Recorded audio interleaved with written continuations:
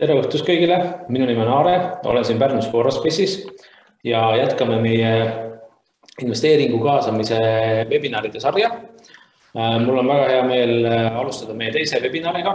Äh, kes esimest ei ole näinud, siis saab minna Youtube'i, kirjutada otsingusse sõna Forospace Hub ja sealt leiab juba eelmise webinari, kus meil oli külas Ivo Remmelk ja Ivo rääkis see hetk siis äh, sellest, äh, kuidas olla äriingel, kuidas alustada investeerimisega.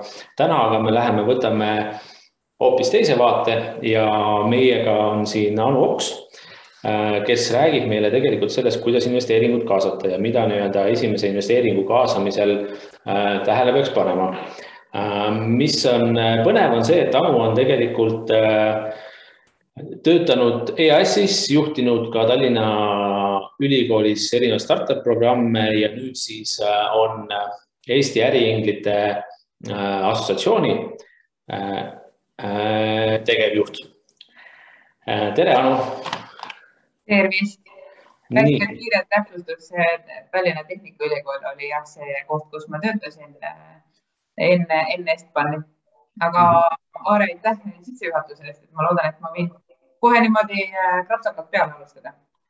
ja äh, ütlen ühe märkuse vahele, et äh, kellel tekib kohe küsimusi, siis kirjutage chati ja ma hoian selle silma peal ja küsime siis, küsime siis jooksvalt või siis vastavalt sellele, kui teema tuleb. aga ma annan nüüd sõna Anu sulle ja vaikselt lasen siin veel inimesi webinarile sisse kes meil nii-öelda ukse taga ootavad äh, ja kel, kel, kellel jääb vaatamata, siis jällegi Youtube'is saab seda pärast järgi vaadata. nii, aga Anu. aitäh.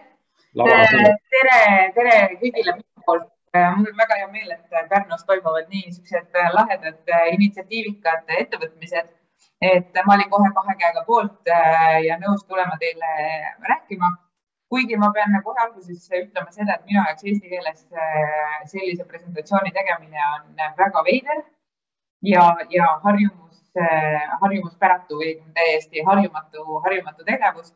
ja, ja ma Aare käest küsisin, et kas see on okei okay,, et mul on slaidid inglise keeles ja proovin ise rääkida, võib öelda isegi purssida eesti keelt siia peale ja noh, Aare ütles, et no worries, et, äh, et sellest pole hullu midagi nii et lihtsalt ma tean, et mul on endal pärast väga halb seda kõike kuulata, kui on eesti ja inglise keel segi läbi, aga äh, mis sa seal ikka teha saad, kui meie ökosüsteem juba ja eesti keel on nii vaene selle äh, sõnavara osas, mis, mis äriingleid ja ingelinvesteeringuid ja üldse investeeringute maailma puudutab äh,. nii et andke mulle andeks, et minu eesti keel on pigem sihuke estonglish kui et äh, puhas, puhas eesti keel aga kes siis, kes siis ma selline olen? Äh, praegu, nagu varem tutvustas, Eesti Äriinglite Võrgustiku tegevjuht äh, alates kahe tuhande seitsmeteistkümnendast aastast, nii et üsna jupp aega juba selles, selles rollis.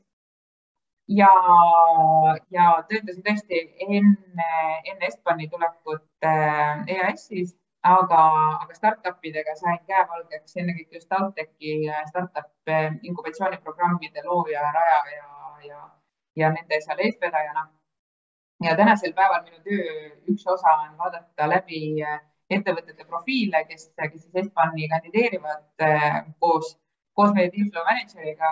Ja Estbani kandideerib umbes circa kolmsada startup'i või äh, noh, põhi, põhiliselt pigem startup'i kui et, kui et lihtsalt ettevõtet aastas. Ja pluss pluss siis veel igasugused erinevad konkursid ja mentordamised ja, ja startup'ide nõustamised ja käehoidmised ja, ja nagu siin pildi pealt näha, siis äh, me oleme juba aastaid tegelenud Estbani sündikaatide kokkupanemisega ja, ja olen andnud nii-öelda tšekkide näol üle juba, juba poolteist äh, miljonit äh, eurot äh,. võib-olla jah, no põhimõtteliselt tšekkide näol üle andnud, tegelikult nendesse startup idesse on läinud juba peaaegu et kuni, kuni kolm miljonit eurot äh, Estbani sündikaatide raha, et äh, see on niisugune kõige nagu kõrghetk selles töös, et sa saad päriselt teha startup'i õnnelikuks, andes talle sadu tuhandeid eurosid selleks, et ta saaks oma, oma ideed arendada ja, ja mul on taskus kaks kraadi, üks on TalTechist ja üks on Tartu Ülikoolist, nii et, äh, et selline olen siis mina.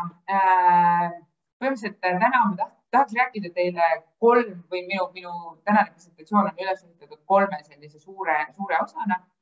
kõigepealt üldse aru saada,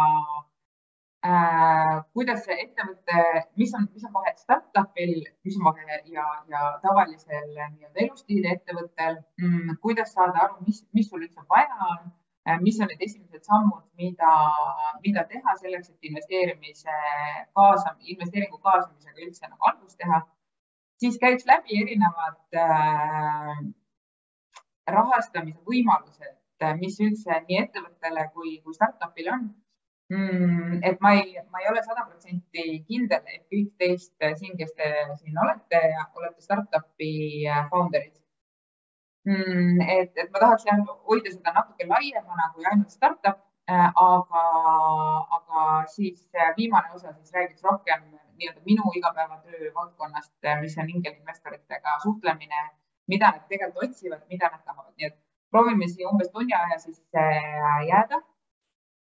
ja, ja nagu Aare ütles, et et proovime seda hoida niimoodi avatud, Äh, et, et võtame küsimused kohe, kui need tekivad, äh, sest muidu on need noh, pärast, pärast on nii palju küsimusi erinevatest valdkondadest ja Tuulile kohe vastuseks, et personaalselt emailile ma ei saada, aga Aare kindlasti saadab kõikidele huvitatutele. nii et mina saadan Aarele ja Aare saadab edasi neile, kes, kes on sellest huvitatud, nii et pange, pange kiri tema postkasti, kes, kes soovivad neid slaide saada ja materjal, ma saan aru, et nagunii see lindistus on pärast, pärast vaadatav äh,. alustaks siis äh, startup versus business ehk siis, äh, mis on startup'il ja tavalisel äril vahet, et noh, et äh, jumala eest sellist Gert Kingot palun ärge tehke, et, et mis, mis seal vahet on, et kas on startup või on, või on tavaline ettevõte. et ma loodan, et te olete sellega juba varasemalt kursis, aga kõik startup'id on samamoodi OÜ-d, nad on samamoodi ettevõtted, lihtsalt küsimus on ärimudelis, äh, küsimus on äh, tehnoloogilises komponendis, äh, küsimus on skaleeritavuses, et, et vähe skaleeritav või peaaegu et üldse mitte skaleeritavad elustiili ärid, näiteks ma juuksurid, pagarikojad, puutöökojad, autoremondi, kuidas sa nimetad neid, garaažid mm, on vähe skaleeritavad, ehk siis nad on väga lokaalse iseloomuga. Äh, üks-ühele teenused, näiteks äh, arstid, äh, rätsepad, juristid, advokaadid, konsultatsioon, jällegi keeruline skaleerida, kuigi on nüüd tänapäeval juba võimalus või siis ka tehas, tehase tootmine, seal on kindel ressursside arv, mis sa pead sinna sisse panema selleks, et teha toodanguid. ja samal ajal, et startup'i siis ärimudel peaks olema üle maailma ulatuv, skaleeritav, tehnoloogial põhinev, korratav, replicable äh, ja, ja see peaks äh, see peaks olema siis jah, äh, suurele turule suunatud, mitte lokaalsele turule, aga hoolimata sellest vahet ei ole, kas sa teed ettevõtet lokaalselt või sa teed suurt maailmale skaleeritavat äri, siis kindlasti sa pead oma finantsplaani ja ka ärimudeli ja, ja rahastusplaani läbi mõtlema, ilma selleta põhimõtteliselt ei ole mingit mõtet äri teha ähm,. Enne siis investori poole üldse pöördumist, üldse, kui sa nagu hakkad mõtlema seda, et okei okay,, ma olen, ma olen ettevõtlik, mul on hea idee ja tundub, et tundub, et mul oleks vaja raha Äh, siis üldse, kui sa enne, kui sa pöördud üldse investori või üldsegi, ma ei tea, crowdsource'i või ühisrahastuse või pangalaenude poole äh,, proovi läbi käia need, need sammud. et kõigepealt tuleks aru saada, milleks raha vaja on äh,. Ja, ja kui pikaks ajaks sul raha vaja on äh,, mis iseloomuga raha sul vaja oleks mm,. kindlasti tuleks kaaluda nii-öelda positiivsed ja negatiivsed küljed iga finantsinstrumendi kasutamise poolt, et me käime nüüd kohe varsti teiega läbi ka äh,. aga tuleks aru saada jah, et mis on nagu plussid ja miinused. kindlasti tuleb aru saada sellest, et kas äh, ettevõtte osanikud ja asutajad on nõus sellega või et kas nad on valmis oma osa ettevõttest kellelegi teisele andma raha vastu ma olen näinud käsi südamel väga palju startup'e, kelle meeskond läheb laiali sellepärast, et üks meeskonnaliige on nõus ja tahab kasvada, tahab lisaraha peale võtta, on nõus andma kümme, viisteist, kakskümmend protsenti oma ettevõttest investorile ja teine founder raiub kui tuld. ei, me bootstrap ime, me ei võta investori raha, see on meie ettevõte ja ma tahan seda ise kasvatada, mitte, mitte anda kellelegi teisele meie ettevõtte raha. Ja väga keeruline minna selle koha pealt edasi nii-öelda suurte, suurte tähtede poole, kui üks ütleb, et ei, teeme ise, teine ütleb, võtame kiirenduse raha peale ja, ja lähme kiiresti. väga keeruline. Mm.. põhimõtteliselt siis tuleks aru saada põhimõtetest, kuidas toimivad erinevad rahastusmudelid, alates äriinglitest, riskikapitalist äh,, toetustest, laenudest, no kuni IPO-ni välja, noh tavalised ärid tõenäoliselt IPO-ni ei jõua, tavalised nii-öelda elustiili ärid, aga, aga startup'ide puhul tuleb ka seda hoida, hoida kuklas, et äh, kui sul ühel hetkel on plaan ikkagi teha äh, initial public offering või siis minna börsile äh, avalikult oma ettevõtte aktsiatega kauplema, siis varases staadiumis tehtud otsused kindlasti juba mõjutavad seda ühel hetkel börsile minekut, et ei, ei tohiks teha selliseid, selliseid otsuseid, mis pärast teevad väga keeruliseks. Äh, ja siis, kui teil on juba nüüd enam-vähem plaan paigas, äh, palju teil raha on, mis ajaks teil raha on, missugused on plussid ja miinused, siis tuleks vaadata, et missugune see ideaalne rahastusmudel teie ettevõtte jaoks, et kas see on siis investor või see on mõni toetus, äh, mingi grant Äh, või see on äh, ikkagi lõpuks pangalaen või see on äh, ainult see, et bootstrap ite ja, ja lähete, saate, saate edukaks või lähete turule ainult oma rahadega äh,. nii, põhimõtteliselt see slaid on siin selleks, et, et öelda teile, et raha kaasamine kui selline protsess ei ole kiire ja ma võiks öelda, kuus kuni üheksa kuud on miinimum, mis sa üldse nagu äh, nagu prepist või ettevalmistusest kuni siis raha kaasamiseni võiksid äh, arvestada ja see on selline väga positiivne stsenaarium, et, äh, et selline aeg, äh, aeg kulub. pigem võiks arvestada niimoodi, et sa hakkad preppima nii vara kui vähegi võimalik. ja, ja noh, väga, väga oleneb, missugust raha sa, sa taga ajad, siis see võib minna isegi kauem kui, kui üheksa kuud ja, ja tuleb siis meeles pidada seda, et investor ei, ei kunagi investeeri ei laenu, ei, ei isegi need grandid ega, ega ingelinvestorid, rääkimata riskikapitalistidest äh, lihtsalt nii-öelda ennustuse või lihtsalt sinu sõna peale, et ah, et mul on nii lahe äri ja mul on nii palju äh,, palju potentsiaali ja kõik tahavad seda toodet osta, et seal peab olema kindlasti väga detailne informatsioonipakett ja väga palju proof'i äh, eesti keeles tõendusmaterjali selle kohta, et, äh, et te reaalselt äh, selle investori rahaga suudate teha midagi, midagi ära ja, ja siis selle investori raha, raha kasvatada. ja täna me üldse kaugemale ei lähe kui selle nii-öelda prep ja ettevalmistusfaasis. mul on sarnaseid koolitusi või sarnaseid presentatsioone ka pitch'i osas ja due diligence'i osas Äh, ja võib-olla teie due diligence äh, tundub täitsa võõras sõna, siin tegelikult eesti keeles polegi normaalset sõna selle kohta. Äh, see on enne, enne tehingut tehtav analüüs siis startup ettevõttele, seal on nii finants, nii juriidiline kui tehnoloogiline analüüs.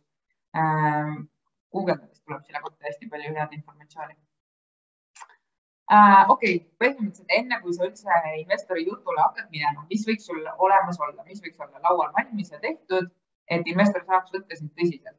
Äh, ma olen nii palju öelnud startup idele, et ära mine üldse enne investori juurde nagu pitch ima, juhul kui sa ei taha ta käest teha nagu mentoring'i ja tagasisidet ja abi. et kui sa lähed raha küsima, siis ära mine lihtsalt niimoodi mütsiga lööma, et ah, ma lähen korra räägin, äkki saab. Pole mõtet, ei saa äh,. enne tuleb väga-väga konkreetsed asjad ära teha. Alustame. kõigepealt äh, on vaja teha ikkagi ettevõte registreerida Eestis ettevõtte, see käib täpselt äh, kümne minutiga, Eestis võib-olla isegi vähem. Äh, ja see peaaegu ei maksa midagi, aga olulisem on see, kellega sa seda ettevõtet teed äh, ja missugune on see asutajate leping, inglise keeles founders agreement, jällegi põhjasid on väga erinevaid ja väga palju. Aga põhimõtteliselt selle asutajate lepinguga tuleb ära määrata seda, kes teeb mida, kellel on milline roll, millised õigused, millised vastutused selle ettevõtte sees. ja see on väga oluline, et kui, kui asutate ettevõtte, siis selline leping tuleks igal juhul teha, et pärast ei oleks vaidluseid ja founder'id läheks, lähevad omavahel tülli, et kes siis kui palju ettevõttest omab, kes mille eest vastutab ja nii edasi. Kindlasti on noh, äriplaanist olete kõik kuulnud, te teate äriplaan, äriplaan, äriplaan, aga see on investori jaoks üks peaaegu kõige olulisem asi. Ja äriplaan sellises tavalises EAS-i äh, või sellises toetuse saamise valguses või niisugune, mis tehakse ülikoolides, see on nagu, nagu mõttetu, pigem on, pigem on oluline see, et äh, kes on turg äh,, kus on turg äh,, mis on sinu toode, mis on sinu toote täiesti unikaalne väärtus äh, võrreldes teiste konkurentidega, kes on su konkurendid, mis on sinu nii-öelda ärimudel või nii-öelda rahastusmudel, kui palju, kui palju sinu toode maksab äh, või teenus maksab, äh, kus sa raha saad, missuguste nii-öelda instrumentidega, kas sa saad raha igakuiselt või sa saad ühe toote müügi pealt raha ja nii edasi, nii edasi. Et see on noh, minu jaoks eesti keeles äriplaan kõlab nagu sihuke mage kolmekümne leheküljeline dokument, aga tegelikult see on, see on investori jaoks väga oluline ja seal on sada erinevat aspekti, mida investorid ootavad. Eesti keeles head sõna one pager'il ei ole, andke andeks, aga põhimõtteliselt A4 tutvustav, tutvustav tekst, mis ei ole nagu paksult teksti täis, vaid annab väga lühikese, väga ülevaatliku informatsiooni sinu ettevõtte kohta, mis on lihtne saata Äh, kohe, kui keegi tunneb sinu ettevõtmise vastu huvi, muidugi ma saadan sulle one pager'i, mitte sa ei saada niimoodi, et ah, ma tunnen huvi, oota, ma teen one pager'i valmis ja kahe nädala pärast sa saadad selle. no uh,. Pitch deck ehk siis uh, investoritele mõeldud uh, presentatsioon. Soovitatav on teha kaks versiooni pitch deck'ist, üks, mis, mis on selline lugemismaterjal, võib-olla põhjalikum, võib-olla ülevaatlikum ja teine, mis tegelikult võiks olla isegi kolm aga igal juhul teine, mida sa siis saad näidata niimoodi, et sinu jutt tuleb sinna juurde, teksti võib olla vähem, jooniseid võib olla rohkem. Mm, ja kolmas versioon on siis laval pitch imise tekk, äh, mis on kindlalt kas kolm minutit või viis minutit. Äh, well practiced, väga selge, arusaadav, niisugust pläku-pläkut vahel ei ole, kommentaare juurde nagu ei saa, saa anda. et, et kindlasti peab olema valmis ka selleks, et äh, ülehomme lükatakse siis lavale, öeldakse okei okay,, please pitch Äh, et, et see on, see on kindlasti, kindlasti oluline. Äh, see capitalization table on siis äh, sinu ettevõtte osanike nimekiri. Et missuguse struktuuriga on sinu ettevõttes osakud jaotatud enne ja pärast investeeringut. ehk siis kui suure osa, siin on siia juurde jätta see nii-öelda valuation ja siis sinu ettevõtte väärtuse hindamine et äh, kui suure osa ettevõttest oled sa nõus selle investeerimise raundiga, kui juhul, kui see on äh, nii-öelda equity investment ehk äh, sinu aktsiatest või sinu ettevõtte ostmise investeering, siis kui suure osa sa oma ettevõttest oled äh, nõus ära andma äh, ja jumala eest, palun äh, proovige endale see selgeks teha, et mis tähendab ettevõtte väärtus, kuidas seda arvutada ja kuidas seda investoritele presenteerida. et just hiljaaegu meil oli üks tore võimalus osaleda pitch või sellisel ideede esitlusevent'il, kus kaks startup'i kuuest ei saanud aru, mis on valuation of the company. Ja siis nad küll nad pusserdasid ja kokkuvõttes jäigi see nagu sellisesse ebamugavasse olukorda.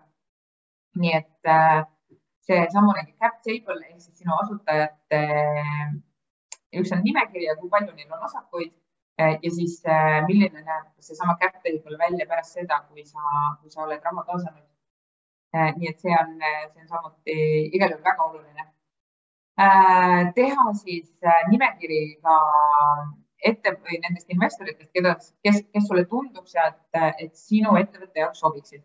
et üks asi on see, et sa lähed Estbani, saadad Estbanile oma profiili ja, ja saad sinna pitch ima. teine asi on see, et sa teed ise väga konkreetset tööd otsides välja Eestist või siis meie regioonist need investorid, kes sinu ettevõtte profiiliga väga hästi sobiksid. et võib-olla neil on endal mõni ettevõte, kes, kes tegutseb sarnases valdkonnas, nii et sa tead juba, et ta on väga hea uste avaja ja võrgustiku looja. Või, või et tal on oma portfellis sellised startup'id, et talle näiteks meeldibki väga investeerida mängudesse või, või B2B SaaS tehnoloogia, tehnoloogiaettevõtetesse. et, hea oleks, kui sul on selline wish list investoritest Äh, kindlasti ma tegelikult juba natuke puudutasin ka seda, et äh, ei piisa ainult sellest, et sa saadad kuhugi meile äh, ja, ja lihtsalt ootad nii-öelda külma, külma meili peale, et, et keegi tuleks ja annaks sulle raha, et pigem on just vaja ehitada üles oma, oma võrgustikku, käia, rääkida, rääkida, rääkida, rääkida ja, ja kui, kui teile kuidagi peaks tunduma, et ei taha oma ideest investoritele rääkida või üldse kellelegi inimestele rääkida, et mulle ka startup'id helistavad, ütlevad, et oi, mul on üks äriidee, Anu, et äh, tahaks rääkida, tahaks kokku saada, et äh, siis allkirjastame selle NDA äh, lepingu ja no siis ma saan rääkida. ma ütlen nagu excuse me, et ma tõsiselt ka päriselt ka ma ei ole siin selleks, et sinu ideed üle võtta ega ise seda tegema hakata. ma tahan sind aidata, et sa saaksid investeeringut kaasata. E, et aga kui sa ei räägi mulle oma ärist ja oma plaanist, siis ma ei saa sind mitte kuidagi aidata. samamoodi ei saa sind äh, mitte kuidagi aidata investor, kellele sa ei räägi oma ideest et, äh, et ma nagu väga tahaks rõhutada seda, et mida rohkem sa ise räägid oma, oma ideest, oma ettevõttest, seda, seda ärksamad on ka kõik teised sinu, sinust rääkima ja sinust edasi rääkima kellelegi. ja, ja kindlasti siin on enne, kui ühtegi asja välja saata, palun lugege materjalid läbi, et seal ei oleks vana infot, et seal ei oleks äh, ebakorrektset infot, et seal ei oleks liiga palju sellist äh, fake it till you make it äh, infot, mida annab kiiresti guugeldada ja näha, et sa oled pannud äh, äh, vabandust väljenduse pärast, aga bullshit'i oma sinna slide deck'i, et äh,, et see põhituum äh, peab välja tulema ja liiga palju valetada ei tohi äh,. Fake it till you make it mingites äh, positsioonides äh, toimib, aga mitte alati Äh, kui siin selle osa peal on äh, küsimusi, see oli pigem selline kerge, kiire sissejuhatus, siis äh, kirjutage neid sinna chati ja Aare saab mulle vahele segada kiiresti. just, aga ma arvan, et läheme praegu edasi äh,. ok, igal juhul rääkides siis erinevatest rahastusvõimalustest, et äh, nagu ma juba enne mainisin, investor ei ole alati see, kes, kes on ainus rahastusvõimalus, et äh, äh, ausalt päris, päris palju ma näen äh, järjest startup'e tulemas, kes, kes ütlevad, et nad ei tahagi raha äh, investoritelt äh,. seal on plussid-miinused, minu need äh, erinevad äh, investeeringu kaasamisvõimalused ongi selliste plusside ja miinustena üles ehitatud Äh, ja self-funding ehk siis bootstrapping on põhimõtteliselt äh, sinu oma rahakoti peal äh, või siis juba teenitud kasumi või teenitud tulude pealt ettevõtte ehitamine. et ühtegi välist investorit ei ole sisse võetud, plussid kindlalt on see, et sa oled sada protsenti oma ettevõtte omanik ja sa ei ole ära andnud ühtegi tulu, see on kõige lihtsam viis alustada ja kõik investorid, pane käe südamele, eeldavad, et sa oled bootstrap inud seniks, kuni sa enam ei jõua või et sul on vaja päriselt kasvada nüüd suureks. Et, eh, et kui sa ei ole sentiga oma raha sinna sellesse ettevõttesse investeerinud, mida sa ise teed ja oma silmad säravad, siis keegi ei usu, et sa päriselt tahad seda teha, et sa päriselt tahad jõuda kõrgele, kaugele kiiresti. kindlasti äh, negatiivse poole pealt on see, et äh, aeglane tõenäoliselt sul ei ole nii palju raha, kui sul läheb vaja ettevõtte kiireks ehitamiseks ja skaleerimiseks. Ja, ja oma nii-öelda finantsrisk ja oma personaalne risk, et äh, sa kokkuvõttes paned äh, oma suhted oma naise või mehega äh, keerulisse olukorda või kulutad, kulutad nii-öelda perekonna raha või, või oma, pead elama kuskil keldris, sööma makarone, et, et see ei tundu kõige apetiitsem lähenemine, aga jällegi käsi südamel, kõik startup'id peavad panema sisse natuke oma raha, sest muidu see ei ole lihtsalt usutav. siis on need FFF-id, Friends, Fans, Family, Pools, äh, Facebook, Funderbeam, okei okay,, Funderbeam läheb natuke crowdfunding usse, aga noh, minu jaoks see on ka pigem niisugune fool's money äh,. ehk siis äh, oma tuttavate äh,, onude, tädide, perekonna tuttavate, emade-isade rahad. põhimõtteliselt need on need inimesed, kes sinusse usuvad kinnisilmi äh,, kes ütlevad, et äh, muidugi igal juhul ma aitan, ma toetan sind äh, küll väikse summaga äh,. plussid on need, et kindlasti on äh, see võimalus, ehk siis sul ei pea veel midagi väga näidata olema, et tõestada emale, vanaemale või onule, et, et sa usud sellesse, sest nemad usuvad sind nagunii mm,. kindlasti on loodud juba usaldus, sa tunned neid inimesi, nad teavad, kellega tegu. ja, ja see annab sulle natukene aega ja võimalust oma ettevõtte arenguga mitte minna kohe investorite juurde raha küsima, vaid saab natukene kaugele, kaugemale arendada oma ettevõtet. ja samas nagu miinuse poole pealt äh, väga suur risk äh, keerata untsu oma kõik suhted lähedaste sugulastega, kui, kui juhtub nii, et see raha lihtsalt põleb ära, mitte midagi ei saa, ettevõte pannakse kotti ja, ja raha on läinud. Et kindlasti, äh, kindlasti tuleb teha ootuste kaardistus või ootused õigesti sättida ja öeldagi oma onule, tädile, vanaemale, ärituttavale, äripartnerile, et sorry, ma katsetan ma ei tea, kas see õnnestub, ei õnnestu. Äh, aitäh, et sa minusse usud, aga ma ei saa sulle sada protsenti garanteerida, et, äh, et see raha sulle palju-palju raha tagasi toob. Nii et lihtsalt seda tuleb ausalt öelda, sest äh, muidu on pärast on suhted pekkis ja kindlasti on see ka piiratud koguses raha, et tõenäoliselt ei ole sealt tulemas sadu tuhandeid või miljoneid, mis, mis järgmiste voorudega sul vaja võiks olla äh,. erinevad toetused ja erinevad Äh, konkursid.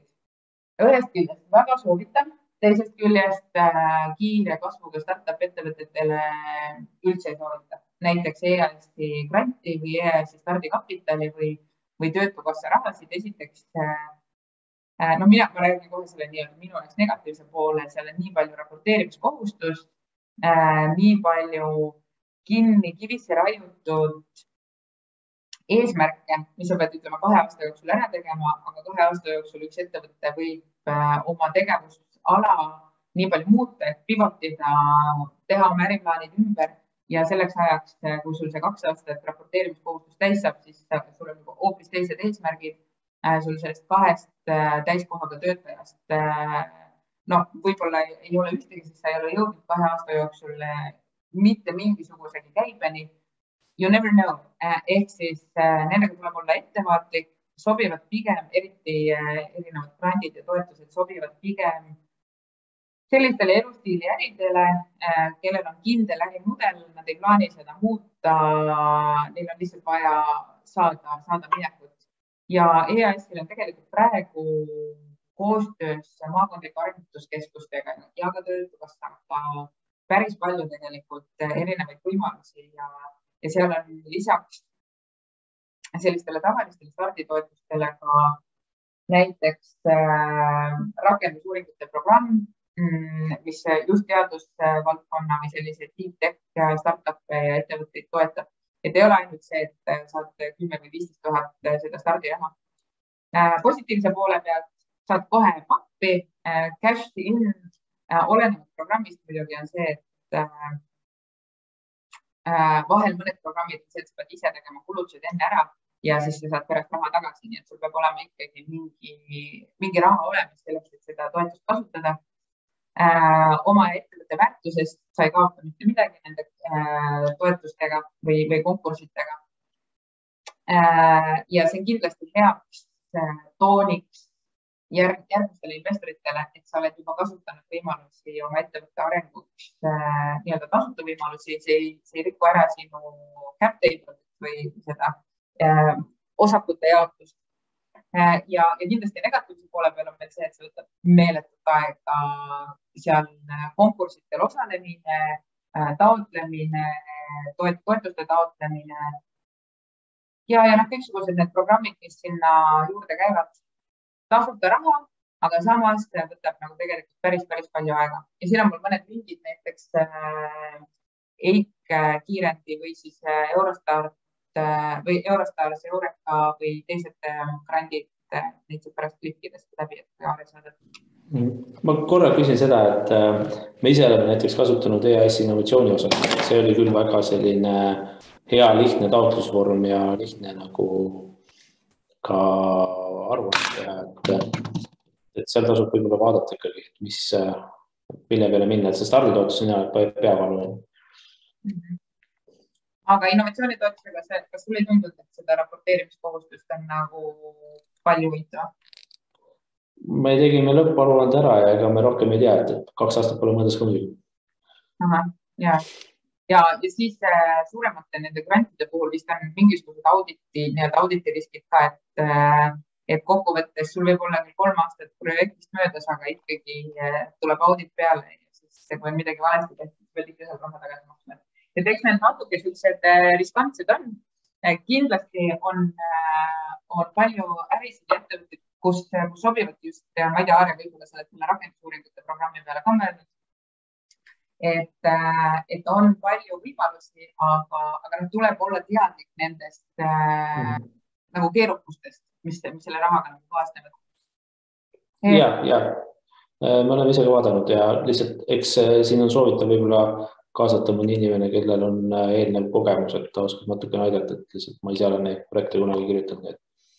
sellepärast igal juhul ja, ja võib-olla pigem natukene, natuke raha maksta kellelegi väga heale projekti kirjutajale, eh, kes oskab seda teha ja toob nii-öelda kindlasti projekti, projekti koju, kui et, eh, kui et ise hästi palju näed vaeva, kirjutad, kirjutad, kirjutad ja ikka nagu, ikka jääd rahast ilma.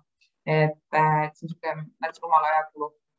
Siis äh, infod ja kiirendid, et äh, tegelikult äh, isiklikult praegu Estbani tegevjuhina hästi soovitan äh, nii Tehnopoli inkubaatorit äh,, Wiseguys'i kiirendit äh,, Tallinna loomeinkubaator on pigem selliste traditsiooniliste ja, ja loome, loomevaldkonna äride peale keskendunud, aga, aga ükskõik, mis annab sulle rohkem teadmisi, võrgustikku mm, või, ja, ja võimalusi kohtuda ja õppida äh, on parem kui mitte midagi.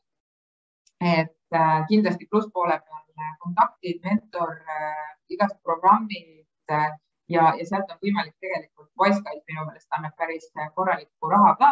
jällegi downside või see keerulisem osa on see, et vahel ei ole võimalik niimoodi, et sa lähed kiirendisse ja samal ajal teed päevatööd kõrvalt.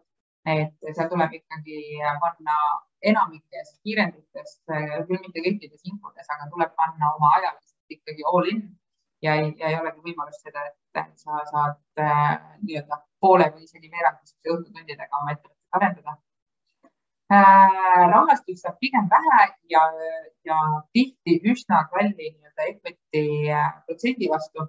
et, et seda, selle osas tuleb olla nagu väga-väga teadlik äh,, mida, mida sa siis sealt vastu saad äh,, kui sa selle pakkumise vastu võtad.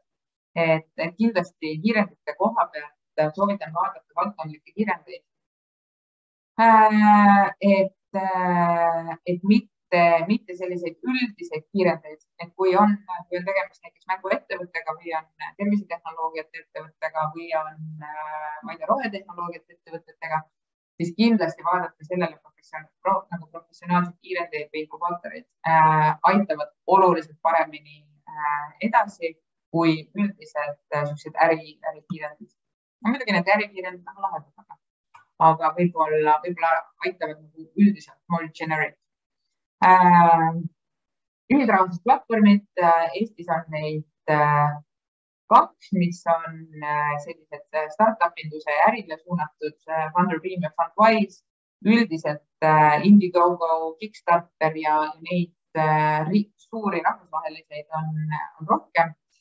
põhimõtteliselt jaotuvad kolme väga suurde lahtrisse laenupõhised auhinnapõhised ja väärt, või kuidas see on equity siis osaluspõhised. jah, osaluspõhised, jesus, eesti keeles kaob äh,. ja et selleks, et, et aru saada, missugune teile sobib, tuleks tutvuda nende platvormide sisuga või platvormide ülesehitusega, et, kindlasti ei ole mõtet minna raha tõstma äh, crowdfunding usse, noh, ma ei tea, teid tõenäoliselt ei, ei võeta ka vastu, kui sa lähed, ütleme, hooandjasse tõstma raha B2B SaaS mingisuguse ettevõttega, samal ajal kui sa lähed mm, laste nuppude õmblusfirmana Funderbeami, siis noh, jällegi sind ei võeta vastu, et, et seal tuleb valida neid platvorme ja kindlasti tuleb väga-väga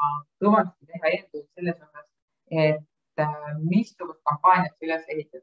See crowdfunding kampaania ülesehitamine on täiesti eraldi teadus, eraldi ala. Äh, seal on, see võib minna väga kalliks maksma.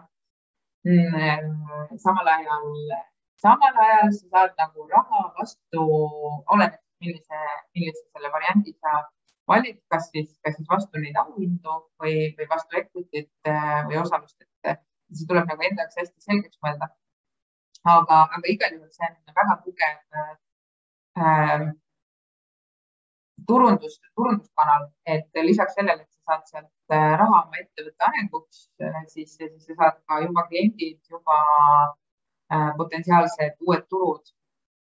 ja, ja noh, siin advantage'i all on toodud see, et, et raha tõstmine võib olla kiirem ja lihtsam, aga tegelikult ei pruugi, ma tean, et Funderbeamis on järjekord äh, ukse taga üsna pikk, et üldse sinna kuidagi letti saada. Ja samal ajal, samal ajal see ei pruugi olla üldse nii lihtne ja kerge protseduur äh,. ma tean, et Kickstarteri kampaaniaid valmistatakse ette kümnete tuhandete eurode eest lihtsalt selleks, et seda kampaaniatki teha. ja, ja oluline on läbi mõelda oma, palju sa raha saad ja palju sa raha kulutad äh,, et üldse seda kampaaniat seal elus hoida ja läbi viia edukalt. et see on, see on täiesti eraldi töö, nii et seda kindlasti tuleb kaaluda nii, ma ei tea, kui järjestikku, kui mitmes rahastusvõimalus see on, aga põhimõtteliselt ingelinvestorid äh,, need on siis äh, varakad eraisikud äh,, kes investeerivad oma aega, raha, võrgustikku, teadmiseid kontakte ja what not selleks, et sinu ettevõttel läheks paremini. ehk siis miks ta on ingel, ongi see, et ta ei anna ainult raha nagu pank, vaid ta ikkagi aitab käib sinuga käsikäes terve sinu ettevõtte eluea jooksul, et seniks, kuni ta, see väike ingel sealt äh, ettevõttest exit inud ei ole, et siis senikaua ta sind, sind aitab. ja no nagu siin on kirjas, et äh, mentorid, nõustamised, ekspertiisid, nii edasi, nii edasi, kindlasti väga suur paindlikkus ingelinvestori poolt äh,. miinuspoole pealt ei tea kunagi, palju nagu ingelinvestorid tegelikult on raha sinuga nagu kaasas käia, noh, et sind järjest toetada, toetada, toetada, ühel hetkel ta ütleb, kuule, sorry guys, et äh, liiga palju raha, mul on, olen juba teisse pannud, mul hakkab otsa saama, et äh, sorry, rohkem nagu, rohkem ma kaasa ei tule. nüüd tuleb juba ära anda oma osalust, ettevõtte osalust. nii et äh, Ingrid üldjuhul sellist äh, heategevust, mitte üldjuhul, põhimõtteliselt ma võiks öelda, et mitte kunagi heategevust ei tee et ingid lähevad sisse põhimõtteliselt kahte mudelit pidi, kas see on otse equity'sse ehk siis ostetakse välja otseosalust või siis antakse laenu, mis konverteerub pärast osaluseks, nii et osalus ikkagi. ja, ja meie võrgust või meie siin regioonis on väga tugevad ingelvõrgustikud, et Eesti, Eestis on meid üle kahesaja viiekümne investori juba ja Soomes on üle kuuesaja investori, Taanis, Lätis, Leedus igal pool on, on sarnased nii-öelda võrgustikud äh, ja kui, kui te plaanite minna oma ettevõtmisega kuhugi uuele turule, siis kindlasti tasub vaadata neid business angel network'e või, või võrgustikke. küll aga ingelinvestor on selles suhtes ingel, et, et neid ei ole väga palju, neid on pigem vähe. Äh, nende leidmine, nende kaasamine, no ei ole umbes niimoodi, et ah, lähen pitch in paar korda ja juba raha tuleb, et see samamoodi on äh, keeruline töö veel keerulisem äh, on leida lead investorit, kes, kes siis sinuga koos aitaks sulle selle rahastusvooru kokku panna. et see ei ole, ei ole kahjuks lihtne, Estban proovib seda lihtsustada ja parandada, aga, aga noh, eks see võtab aega. siis äh, riskikapitali fondid. Eestis on neid väga palju, järjest tuleb juurde erinevaid. kindlasti on oluline, äh, kui, noh, kui teie äri üldse sellesse valdkonda sobib, oluline vaadata, missugune VC sobib teie ettevõttega. Äh, ühel hetkel te võite olla nii desperate, et äh, teil on ükskõik, teil on lihtsalt raha vaja, aga in the end on mõistlik ikkagi sõlmida see abieluleping ehk siis rahandamisleping ettevõtte või selle VC-ga, kes, kes reaalselt teile sobib, teid aitab, need inimesed on sümpaatsed, mingi klikk peab ikkagi nagu tekkima ka, ka VC-ga, sest kokkuvõttes need on need inimesed, kes elavad teil kaelas circa kümme aastat ja elavad kaelas selle ideega, et millal nad oma raha teie ettevõttes kätte saavad. et see VC ettevõtte või VC raha ettevõttesse võtmine ei ole tegelikult nagu naljaasi, tahavad igavest raporteerimist, väga konkreetseid äh, KPI-sid või siis neid äh, mõõdikuid, mille järgi teid mõõta ja kõik peab käima nagu kellavärk, et see seal selle koha peal enam nagu sellist pehmotamist ja niisugust äh, käehoidmist liiga palju ei ole. ja miks see on nii, sest äh, need riskikapitalist äh,, kui te kuulete see on nagu LP või limited partner on siis see, kes annab äh, riskikapitalifondile raha investeerida. Nemad elavad samamoodi nende riskikapitali või nende fondide peal ja koputavad neile mingi paar korda kvartalis ukse peale, et noh, kus meie raha on, et tahaks ikkagi kasvu näha ja noh, siis see, see, vaene fondike, ega tal muud, mujal seda kasvu võtta ei ole kui ikkagi startup'ide käest ja siis nad tulevad, koputavad startup'ide uksed peale, et, et kus kasv on ja tahaks juba exit et ja sellega peab arvestama, et äh, päris suure osa oma ettevõtte väärtusest võite juba arvestada viisi viisile. jutt on umbes niimoodi, et äh, mitte rohkem kui kakskümmend protsenti ühes voorus äh, oma ettevõtte rahastust. Nii et, et nende ruined cap table or fact of cap table, et kui teil on juba üle kahekümne protsendi läinud ühe vooruga ära, siis tasuks nagu, tasuks üle vaadata ja nagu siin ütleb, et fundraising takes time, ma arvan, et see käib kõikide nende rahastusvoorude või rahastusvõimaluste juurde, et kõik võtab aega.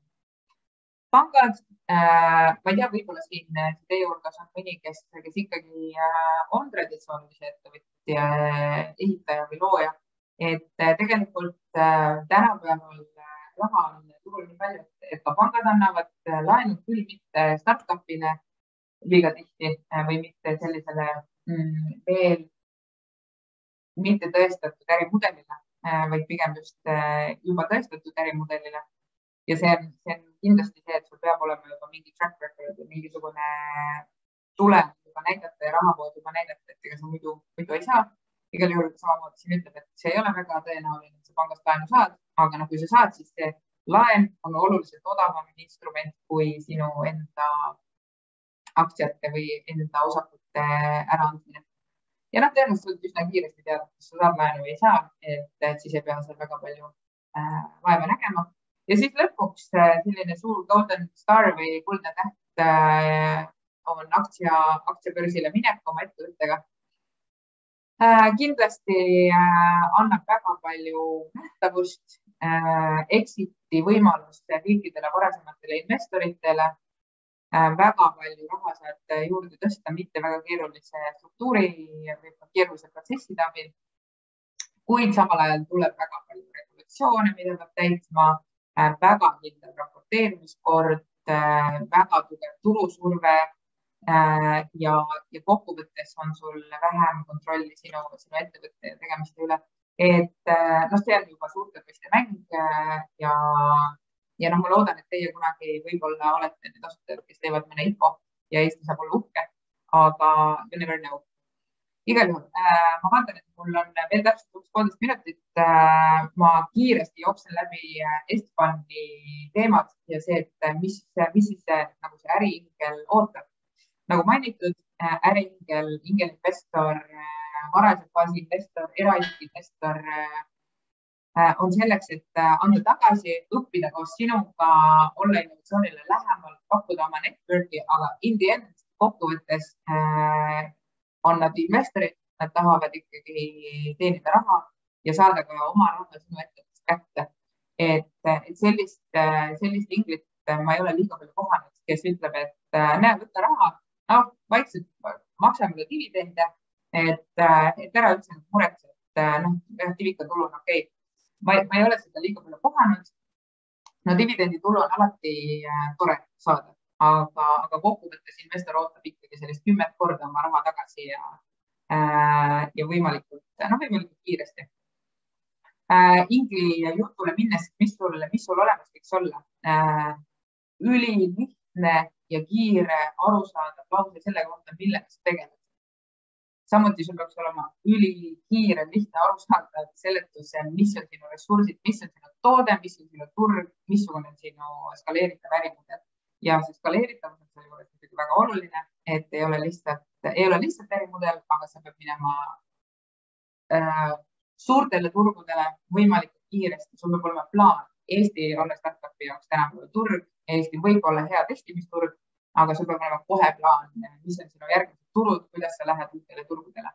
ja see turu kasv ja turu suurus peab olema ka sihuke pigem suur äh, kui ja, ja pigem nagu kasvava trendiga, kui, kui et väike ja, ja, ja väheneva trendiga. Startupide maailmas on, on niisugune tore lause, et uh, you are too early, too early, too early, too early, too late ehk siis õige ajastus startupide maailmas on ülioluline ja investorid proovivad seda ajastust ka tabada et kui nad panevad oma raha mõnest ettevõttesse, mis on liiga vara oma tootega turul, siis tõenäoliselt kulutatakse see raha kiiresti ära ja, ja turg ei võta seda veel vastu. vastupidi, kui ta on liiga hilja, siis äh, on konkurendid juba turul ees, kes vähendavad jällegi seda turu suurust. Äh, investorid äh, otsivad, ootavad juba alguses esimestel pitch idel igakuist kasvu Äh, ükskõik, kas see kasv on rahaline, kas see kasv on registreeritud äh, kasutajad, on see downloads äh, või allalaadimiste arv. Mm, võib-olla see on üldse mingisugune community building, et sul on juba kümme tuhat inimest kuskil võrgustikus või kommuunis ja põhimõtteliselt kohe, kui sa neile saadad lingi, et purchase või osta siit, kõik ostavad. et selles mõttes see igakuine kasv, et sa näitad, et sa arened, kasvad äh, igakuiselt, võib-olla noh, eales isegi iganädalaselt äh, on väga oluline äh,. sinu äh, müügiloogika ehk siis äh, see nii-öelda unit economics, müügiloogika peab pidama paika, et sa kulutad ühe, ühe müügitehingu tegemisele vähem raha, kui sa sealt teenid. ehk siis sa pead teenima rohkem, kui sa kulutad Äh, siin on lifetime value, LTV, lifetime value on suurem kui customer acquisition cost ehk siis CAC. Äh, dokumendid peavad olema korras. Eestis on selles mõttes väga tore, et Startup Estonia on teinud suure töö äh, startup'ide eest ära. kõik, mis iganes vähegi vaja olevat startup'i loomise või ettevõtte loomise dokumendid, küll inglise keeles, aga on olemas Startup Estonia kodulehel ja need on tõesti väga põhjalikud ja väga kasutatavad dokumendid äh,. on vaja, et äh, investoritele tehakse ka igakuiseid või vähemalt äh, igakvartalisi ülevaateid, kuidas startup'il läheb. ja kindlasti äh, investoritel on oluline see, et informatsioon tuleb, et kui läheb sitasti, siis äh, tulebki öelda, et praegu on väga keeruline seis selle, selle, selle asjaga, meil oleks abi vaja seal ja seal ja seal, mitte hoida seda infot Äh, endale ja, ja nagu pusserdada ja siis ühel hetkel öelda, et sorry, kuule, kõik raha on otsas, mis me nüüd teeme äh,. siis see järgmine punkt on see ühe üksik founder või siis äh, meeskonna founderite äh, punkt, et, et investorid kindlasti tahavad näha, et meeskonnas ei ole mitte ainult üks inimene äh, selles ettevõtte osanike nimekirjas ehk siis äh, peaks olema vähemalt kaks selleks, et äh, kui investor teeb ikkagi, ta paneb paarsada tuhat sinu ettevõttesse oma raha kasvama, siis, äh, siis ta tahab näha seda, et äh, see risk oleks ka maandatud. ühel hetkel on koroona, ühel hetkel on, ma ei tea, trammi alla või lähed Bahamale puhkama ja ütled, ah, Talladna, mul on suva, lähen, ma ei tea, vahet pole, see startup, ma ei viitsi sellega enam tegeleda. ja siis on see investori raha kuskil laiali, et see, see on usalduse küsimus, aga riskide mõjutamine mõttes on alati hea, kui on, kui on rohkem kui üks founder. Äh, sellest table'ist me rääkisime ja alati selline X-faktor, selline sära silmades. Äh, äh, et mida see investor otsib ja see klikk ja see, see armumine sinu tootesse, sest sa oled ise nii põletav ja sa räägid sellest nii nagu vaimustunud, et investor muidugi tahab oma raha sinna panna, et see, see on nii oluline.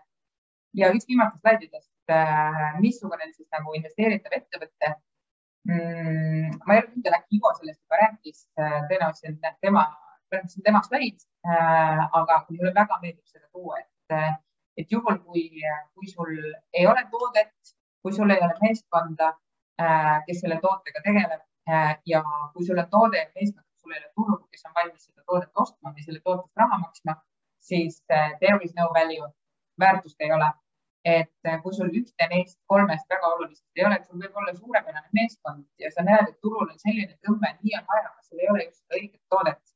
Äh, või et sul on toode ja turg, aga sul ei ole meeskond, sa oled üksinda pusserdad seal, sa ei ole suutnud äh, endaga kaasa kedagi kutsuda, siis there is no value, väärtus tegelikult puudub.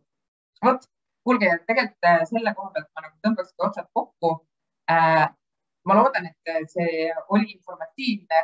Äh, kuna ma ei tea, ma ei tunne teist äh, peale Aare, ma arvan, et mitte kedagi, äh, siis, siis ma ei tea, mis teie taust ja mis, mida te nagu teate, mis, mis teile üldse huvi pakub.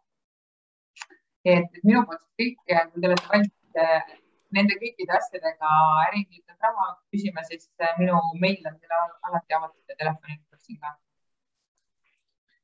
suured-suured tänud, Anu, sa tegid nagu täisspordi, ma vaatan sai värki jah, aga, aga nagu mulle lihtsalt, ma ei, ma ei tahtnud midagi välja jätta.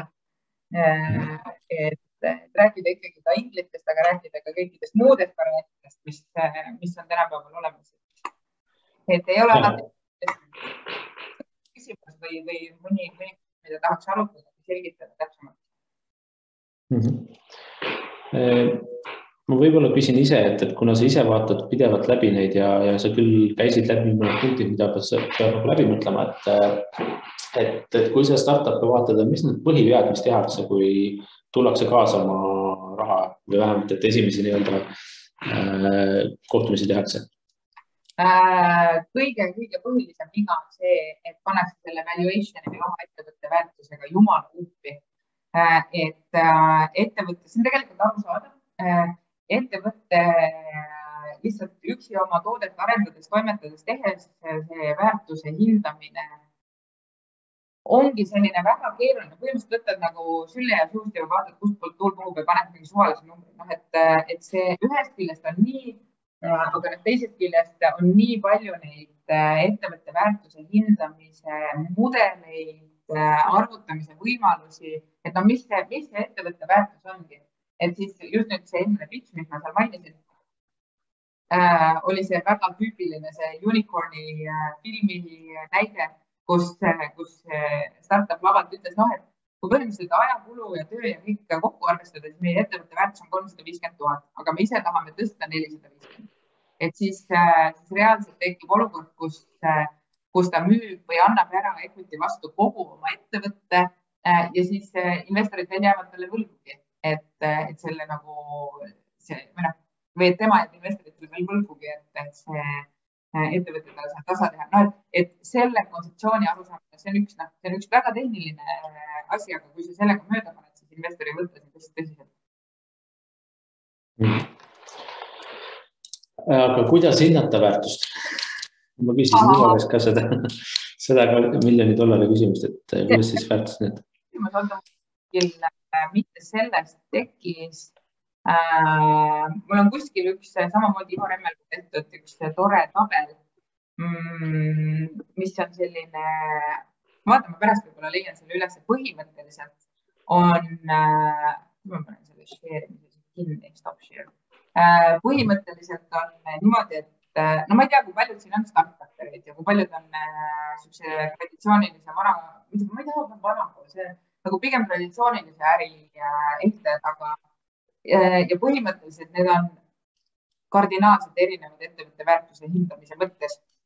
vanakooli ettevõte, traditsiooniline ettevõte vaatab oma varad üle, vaatab oma pangakonto üle, vaatab oma käibe ja, ja need igasugused projektsioonid üle ja ütleb nii, no enam-vähem midagi sellist. Startup'i puhul on tegelikult kõik selline fake it till you make it potentsiaalne turuväärtus, potentsiaalne klientide väärtus, potentsiaalne müügiväärtus, potentsiaalne turu suurus, äh, need kõik äh, sustainable, äh, noh, vabandust, serviceable, obtainable market ja nii edasi, nii edasi, kõik, kõik, mis võiks olla tulevikus. ja mida suuremaks ettevõte kasvab, lõpuks ta müüb ka seda potentsiaalselt oma kliendi baasi, mida annaks rakendada ükskõik millele muule. nii et noh, et kuidas need Boltide ja TransferWise'ide, nende väärtused tulevad, äh, ongi sellest, et see, seda kogu potentsiaali müüakse ja müüakse ka tegelikult investorite võib-olla natuke sinisilmset usku sellesse, et see, see, see veel kasvab, see läheb veel suuremaks, meil on võimalik veel seda kasvatada. Äh, et, et see on, noh, see miljoni dollari küsimus. Aga see on ka kokkuleppe koht või selline tunnetuslik väärtus investori ja startup'i vahel. aga noh, samas kokkuvõttes seda saab teha väga lihtsalt arvutada et äh, kui sa tahad oma ettevõttest ära anda kümme protsenti, äh, siis ütleme kümme protsenti selle raundiga äh, ja sul on vaja sada tuhat eurot, siis sinu ettevõtte väärtus on miljon. et noh, väga lihtne arvutuslik nii-öelda mudel. Noh, muidugi investor võib sulle öelda miljon, välja, et ma tahan selle saja tuhande eest viisteist protsenti. no et see ongi selline negotiation arutluse, arutluse koht mm. -hmm. kellel on küsimusi, saab kirjutada chati ka uh,, sest et pärast äh, videot järgi vaadates küsimusi ei ole ei saa küsida uh,. Küsiks võib-olla sellist asja ka, et, et, et üks asi on see, et, et et okei okay,, et, et saame investoritega kokkuleppe, aga mida, milliseid vigu tehakse nii-öelda siis selle nii-öelda osaluse jagamisel cap table'iga, et, et selles mõttes, et eriti kui me räägime. Cap table tähendab, on ju. jah, et ütleme, et, et cap table'i, et mis see cap table tähendab, mis vigu tehakse ja, ja mis asjad võivad takistada nii-öelda järgmiste ringide saamist mm,? No cap table siis äh, tähendab põhimõtteliselt seda, et kuidas sa oma ettevõtte osalused oled jaotanud äh, asutajate, potentsiaalsete investorite Äh, potentsiaalsete töötajate ja nagu vahel. ehk siis üldiselt on ju niimoodi, et sa asutad ettevõtte ja founder'id on sada protsenti ettevõtte asutajad. ehk siis Aare ja Peeter, mõlemad omavad sada protsenti mõlemad on, nende osalus on sada protsenti sellest ettevõttest kokku ideaalis võiks olla niimoodi, et kui tuleb näiteks FFF round ehk siis sa võt, saad mingi pisikese rahakese kuskilt onu käest äh,, siis äh, selle asemel, et äh,, et lubada talle mingisugust äh,, noh, lubada talle mitte midagi, on okei okay,, kui sa annad talle, ma ei tea, ühe, kaks protsenti äh, oma ettevõttest. onu annab sulle natuke vastu, on vaja teha kindlasti paberid äh,. Järgmine raund võiks olla ingli raund äh,. ingel annab tõenäoliselt sihuke olenevalt sinu faasist, viiskümmend, sada, võib-olla sada viiskümmend, võib-olla suuremad raamid, kakssada, kakssada viiskümmend tuhat. Mm, mitte üle kahekümne protsendi selle raundi eest, siis see tähendab, et sa pead arvutuslikult mõtlema, et kui palju sinu ettevõte siis peab väärt olema, et sa ei annaks ära seda kahtekümmet protsenti, rohkemat kui kahtekümmet protsenti. Ja fucked up cap table ehk siis nagu pekki keeratud see ettevõtte omanike ring on siis, kui sa suudad selle anda nii palju rohkem äh, kui kakskümmend, ütleme, et sa annad sellele onule juba kakskümmend ära selle viie tuhande eest. Äh, ja siis sul tuleb ingli round, ütled, ah, okei okay,, te annate nii palju raha, mul on süda jumala õige, et äh, te annate nii palju raha, kolmkümmend protsenti ettevõttest, davai, okei okay.. Ja siis kokkuvõttes, siis on Aarel ja Peetril omavahel jagada veel viiskümmend protsenti onul ja inglil on kahe peale viiskümmend protsenti ja järgmine raund äh, tekitaks olukorra, kus founder itel on juba vähem kui viiskümmend protsenti tervest ettevõttest. ausalt, mitte ükski investor ei investeeri enam sellesse ettevõttesse, aga seda on võimalik parandada, tehes kokkulepped siis selle onuga ja ingliga, et kuulge, nüüd on küll niisugune olukord, et te olete nii lahedad, aga me peame ikkagi vähendama teie osalust oma ettevõttes selleks, et me saaksime kõik koos kasvada veel suuremaks Äh, tihti läheb äh, see väga keeruliselt ja vahel ei õnnestugi ja minnakse raksu ja, ja onu ütleb, et teeb niimoodi laua peal. Äh, et käige kuu peale, aga kokkuvõttes, kui see onu oleks tark, siis ta ütleb, et jah, muidugi, sest kui, kui ta saadab teid kuu peale, siis ei juhtu selle ettevõttega mitte midagi ja see sureb maha nii selle onu viis tuhat kui selle viisi sada tuhat või selle ingi sada tuhat ja, ja siis, siis ongi kõik läbi aktsioon et, et selles suhtes peab olema väga ettevaatlik nende väga varajaste faaside äh, nii-öelda väljaandmisega. Ja samuti peab olema väga ettevaatlik igasuguse advisory fee ja, ja sweat equity äh, väljaandmisega. Äh,, sest kokkuvõttes lõpuks on äh, see raha, öeldakse, et ta on nii-öelda surnud surnud cap table'i osa, et kui, kui ta kunagi oli sul advisor, kunagi andis väga palju nõu ja nüüd enam ei tee mitte midagi, siis see viis protsenti tema taskust äh, ei, ei arene, ei idane, ei suurene, ei vähene Äh, ja ta on nagu nii-öelda surnud äh, selles osas. tihti proovitakse nendest nagu pisikestest protsentidest äh, lahti saada, osta need välja ühel hetkel või, või anda, anda lihtsalt -hmm. neile, kuulge, väga tore, sa nüüd aitasid meid, ole hea, võta raha, aga mine ise ära. et mm -hmm. aga need väga oluline teema, eriti startup idel, kes, kes tahavad Äh, lõpuks saada viisi, viisi investeeringut ja mitte ainult ühte, vaid A, B, C raundid, et see on väga oluline mm. -hmm. vahepeal tuli küsimus, et häid soovitusi professionaalse co-founder'i leidmiseks et isiklikult otsin turundus- ja müügiinimest, et ähm,. aga kas, rääg... Kas sa räägid praegu nagu co-founder'ist või sa räägid nagu employee'st? et kas sa tahad tööle võtta inimest äh, või sa tahad ikkagi seda, et ta on võetud tasuta? et ta töötab tasuta? ma äh, otsin ikkagi co-founder'it, sest ma hetkel olen ise üksi, et mul on äh, küll mingisugune turuanalüüs ja platvormi põhi tehtud, aga siiski peaks rohkem nagu noh, ühel hetkel peaks jah, et üksi ühesõnaga tegelikult ikkagi on natuke palju teha, et ja, ja üks asi on, et on palju teha, teine asi on see, et äh, see põleb nii kiiresti läbi äh,. kui sa nagu päriselt suure kasvu peale minema hakkad, et äh, ja noh, ma ei kujutaks ette startup'i nagu äh, kuidagi suureks kasvatamist niimoodi, et sa oled äh, üksinda. et noh, juba esiteks see, et sul on väga keeruline raha kaasata, sest et see on väga riskantne ainult ühe fondi peale lootma jääda. Aga noh, kuidas siis leida professionaalset co-founder'it äh,? see, see väga oleneb sellest minu arust, et kus faasis sa praegu oled, kui sa oled nagu väga varajases faasis, siis see veel on nagu võimalik, ehk siis sa oma säravate silmadega. Äh, käid läbi oma, oma sõbrad a la endised töökaaslased või praegused töökaaslased. Äh,, ülikoolikaaslased, võib-olla klassikaaslased keegi, kellega sul on ühine minevik, ehk siis keegi, kes sind juba tunneb. Äh, võib-olla sul on äh, mingi varasem lahe kogemus, äh, võib-olla sa, ma ei tea, tennist mängid kellegagi, kes, kes võiks olla selles valdkonnas. või siis, või sa tead mõnda inimest, kes selles sinu ettevõtte valdkonnas juba midagi teeb. kas see on näiteks noh, et kui sa, kui sa tahad teha mingisugust äh, Äh, mingit tarkvara, näiteks äh, personali, personalifirmadele, personali otsingusse, personali HR mingisugustele manageritele, et siis, siis sa vaatad, äkki on sul mõni tuttav sellest valdkonnast ja sa saad oma säravate silmadega, oma mega passion'iga ära veenda selle inimese, et, et ta tuleks sulle appi, äh, et ta tuleks sinuga koos seda ehitama. lihtsalt see on nii oluline, et, et mõlemal co-founder'il oleks sama vastutuse nagu tunne vastutuse ees Äh, ja et nende silmad mõlemad säraksid, nad mõlemad panevad niimoodi, mõlemad täiest mm. äh, torust muudkui, et tuleb.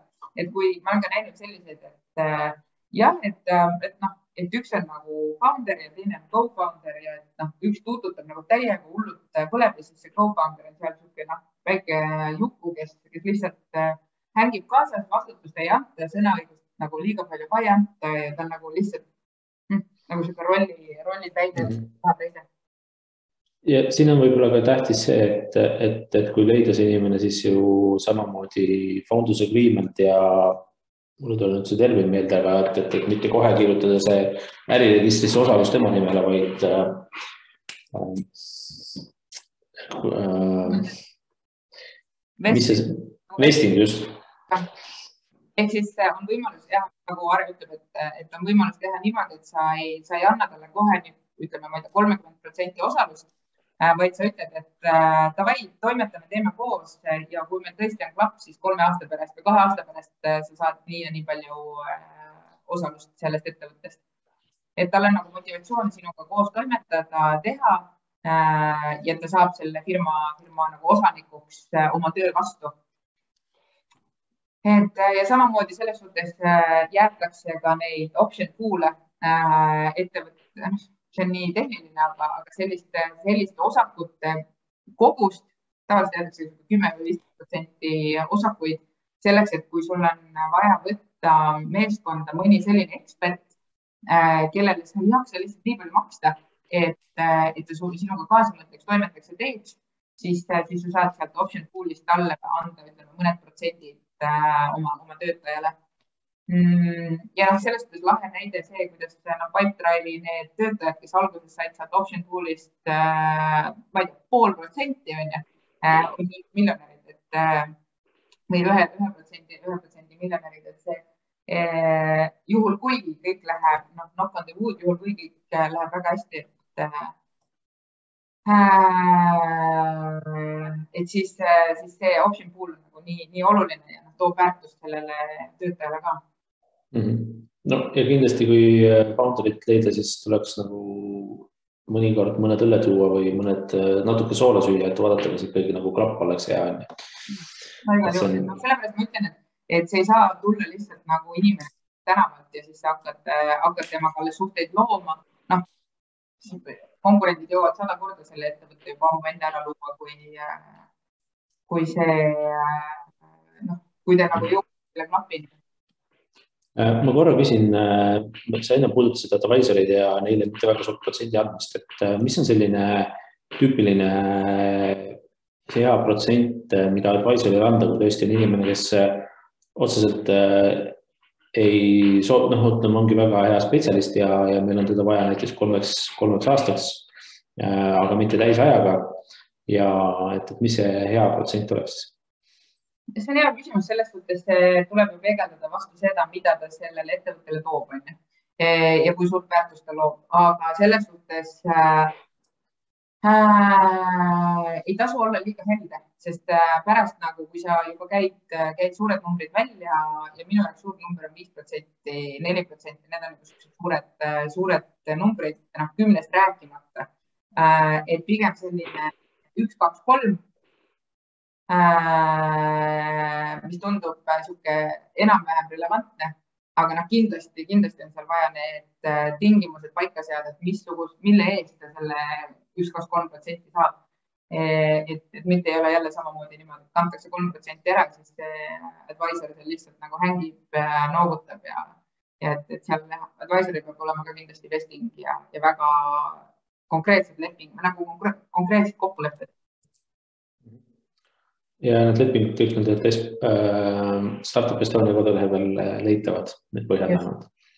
Äh, korra küsin ka sellist asja, et, et ma rääkisin siin äh, ja kaasamisest ja oletame, et sada tuhat ju siis, siis äh, tehniliselt ju tegelikult ingelinvestor, noh, väga harva üks investor tuleb sada tuhat, et tegelikult on vaja ju korjata see sada tuhat või kakssada tuhat kokku, et, et äkki sa räägid sellest, sellest poolest ka on ju ja ticketitest ja kõigest sellest põhimõtteliselt Eesti äriingel ei ole liiga rikas. Äh, et kui vaadata investoreid Soomes, Taanis, Norras, okei okay,, Norra on natuke teistsugune case äh, Rootsis, mm, siis äh, inglid vabalt teevad seal siukseid viiekümne kiloseid tiketeid kuni saja, saja tuhandeseid tiketeid. et no Eestis seda näeb üliharva või kui siis on mõni rahvusvaheline suur ärimees, kes, kes ei tunne ennast nagu kõigutatuna selle, sellest faktist, et ta viiskümmend tuhat paneb ühte startup'i et äh, Estban suured ringid tavaliselt ikkagi või Eesti äriühingute võrgustikus tehakse suured ringid äh, nii-öelda sündikaadina ehk siis investorid panevad seljad kokku, igaüks paneb seal viis, kümme, võib-olla viisteist, äh, mõni võib-olla kakskümmend mm,. ja, ja investeerivad siis koos sellised kahesaja kuni viiesaja tuhandesed ringid. et kõige esimesed investeeringud väga super, super early stage on tavaliselt sihuke viiskümmend tuhat, alla viiekümne tuhande ma ei ole näinud ringi ringi. Äh, jah, on, aga siis see on juba pigem sihuke äh, FFF-i poole nagu kaldu, et sa nagu, okei okay,, ma annan sulle, ma usun sinusse, sa oled tubli poiss äh, või tüdruk, et, et sihuke viiskümmend kuni sada tuhat, seal on tegelikult väga konkreetne põhjus, et kui tõsta oluliselt vähem, siis äh, selle aja peale, kui äh,, kui sul see raha otsas on, sa ei ole jõudnud teha mitte midagi, sa ei ole jõudnud oma nagu turgu ära valideerida, sa ei ole jõudnud toodet valmis, aeg läheb nii kiiresti mööda, sul on juba ammu see raha otsas ja siis sul on vaja juba kohe hakata uuesti jälle raha tõstma. ja nagu me teame, raha tõstmine on pikk protsess, väga keeruline ja sa ei ole jõudnud teha neid, sa ei ole jõudnud täita neid eesmärke, mis aitaksid sind järgmise selle vooruni. et niisugune viiskümmend kuni sada tuhat saad natukene osta niisugust vorsti, vorsti leiva peale, tunda mitte nagu lõdvalt, aga saad oma töötajatele maksta motivatsiooni, motivatsioonipalka, mis hoiab sind kaksteist kuni kaheksateist kuud eh, elus ja vee peal. Mm, jah, ma saan aru, et need kümned tuhanded on vajalikud näiteks prototüübi, prototüübi arendamiseks. aga seda võiks proovida saada kas kuskilt grantidest, kuskilt äh, FFF-ist oma rahasid äh,, ma ei tea, oma ettevõtete alt kuskilt äh, tehes mingisuguseid asju, et et selle jaoks äh, minu meelest ei ole mõtet anda oma osalust ära. nii äh,, tundub, et rohkem küsimusi praegu ei ole, me oleme väga, Annus, väga professionaalselt katnud äh, kõik valdkonnad ja andnud väga hea ülevaate sellest, et kuhu poole peaks siis nii-öelda alguses äh, esiteks, et mida kaaluma äh,, millist investeeringut äh, või toetust äh, meedet kaaluma või noh, finantsmeedet ja, ja meil on nagu väga hea meel, et sa meiega oled ühinenud. ma usun, et sellega tõmbame tänaseks otsa kokku. Äh, kes äh, ei jõudnud alguseks, saab vaadata siis äh, Youtube'is seda, kogu seda esitlust järgi, Forward Hub. kui Youtube'i sisse lüüa, siis, siis leiate selle ülesse. mina omalt poolt tänan Anu sind väga super. sa kuulsin, et sul on veel mitmeid esitlusi erinevatel teemadel. ma usun, et järgmine aasta me kutsume sind rääkima juba konkreetselt ja spetsiifilisemalt äh, järgmistel teemadel. väga tore, aitäh minu poolt. ja, ja ilusat õhtut kõigile. aitäh, Aarja sulle. tšau. tšau, tšau.